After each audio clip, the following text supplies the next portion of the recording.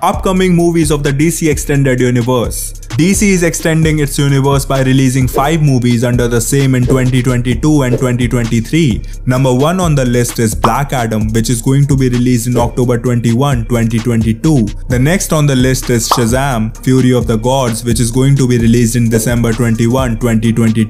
Number 3rd on the list is Aquaman and the Lost Kingdom releasing in March 17, 2023. Number 4th is the Flash, releasing in June 23, 2023, and the last movie on the list is Blue Beetle, which is going to be released in August 18, 2023. Which movie are you interested in from the above list? Comment down below and please subscribe to Bacty Factyy if you like this video.